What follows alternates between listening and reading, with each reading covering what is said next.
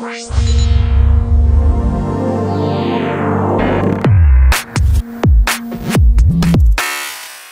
y llegamos a Santana Textiles. Estamos con Luján Cambariere coordinando un concurso en la Feria del Libro eh, que le hacen en conjunto con eh, Santana Textiles y que acá está Leogando para contarnos un poco. Bueno, primero, ¿qué es lo que pone la Feria del Libro y qué es lo que pone Santana? Luján. Bueno, mira, la feria eh, ha sufrido un cambio muy importante el año pasado y quiere de algún modo que se evidencie eh, entonces entendió que el diseño era una manera importante y nos convocó para organizar un concurso para vestir al personal que es la cara, la cara visible frente al público en general. Y es una persona muy importante porque son de algún modo las personas que conducen, sobre todo al amor por los libros, a, las personas. ¿no? cuando uno llega, bueno, lo primero que ve es a la gente que te atiende, todo. Pero, eh, a ver, es la persona que está afectada a la feria y no los, las promotoras, eso no. Exactamente, sí, sí, es gente eh, que tiene, digamos, una actividad muy importante en la feria porque es la que conduce a cualquier visitante hacia el lugar donde quiere ir, pero más allá de eso, de, ser una persona que indica, son personas intelectualmente muy preparadas y que, como te digo, sobre todo invitan y promocionan el gusto por la lectura. Entonces, son como unos personajes dentro de la feria muy importantes de identificar y bien contundentes, ¿no? Ale, ¿qué tiene que ver Santana en esto? Bueno, Santana porque yo creo que Santana viene trabajando desde hace mucho tiempo esta cuestión de la versatilidad, ¿no? Y me parece que en realidad justamente a la feria llega todo público, todo target. Entonces la idea era como, bueno, fue armar este concurso y, poner una consigna clara. Tenía que ser una prenda que fuera fácil de llevar, que se pudiera colocar por encima de la ropa que traen los colaboradores y que sea como un uniforme para ellos eh, con todo lo que esto implica. Un uniforme tiene que ser funcional, tiene que ser cómodo y qué mejor que el denim en esto que fue la primer tela utilizada para los uniformes de los trabajadores.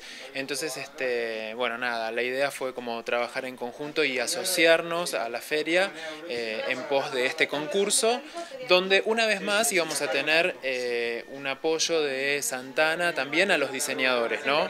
¿Cómo trabajan eh, el tema del producto para elegir, bueno, un delantal en lugar de otro. En realidad a mí lo que por ahí más me interesaba destacar y, y por ahí es la intervención de Santana es en el sentido de que muchos concursos de diseño eh, tienen, bueno, quedan en el prototipo o en el figurín, ¿no? Y este tiene la misión, nada menor, en muy poco tiempo, de que estas personas vistan, hombres, mujeres, desde 18 a 60 años, este uniforme.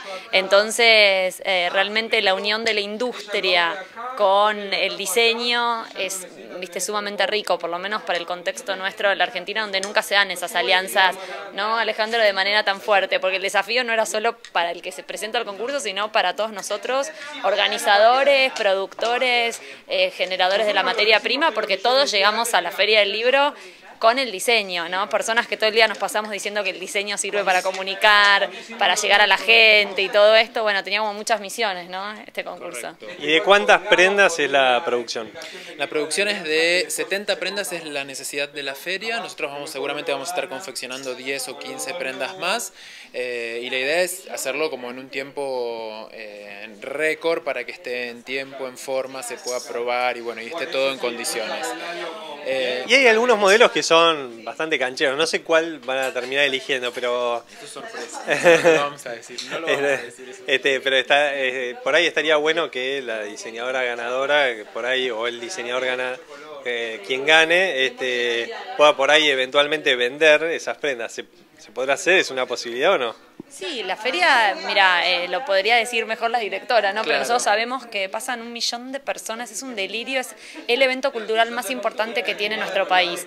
Entonces creo que la gente de Santana y nosotros también abrazamos el hacer este concurso, como te digo, porque es una oportunidad enorme para demostrar que el diseño tiene mucho, digamos, para dar en, por fuera, ¿no? De los claustros y de, los ámbitos más cerrados. Con toda la gente, con la comunidad, ¿no? O sea, este, esta persona que va a usar este uniforme va a ser fundamental porque esto va a hacer que vuelva a su casa con su ropa en condiciones, este, va, va a darle uniformidad a la feria, la gente va a identificar fácilmente. Entrás y ya sabes quién sabe, quién no, quién es de la feria. Correcto. Este, bueno, y, No, y con tu pregunta creo que sí, que es, va a ser para el diseñador ganador una prensa y una difusión enorme que eventualmente seguramente le traerán ojalá otros trabajos y... y- pero estos uniformes no, digamos. Claro, esos eh, tienen el, el lujo, de, digamos, de ser el uniforme de la Feria del Libro. Y de Después se verán. Solo esos 70 Exactamente. este, para, para el país en realidad, porque por la feria pasa el país prácticamente, ¿no? Bueno, buenísimo. ¿Y cuándo vamos a ver estos uniformes? En abril, en abril cuando inaugura la feria, eh, aparte realmente los invitamos especialmente porque el diseño va a tener un espacio especial, van a estar los seleccionados Sí, en maniquíes. Santana en un stand, o sea, con unos videos para ver la evolución de este trabajo, va a estar bueno, así que los esperamos.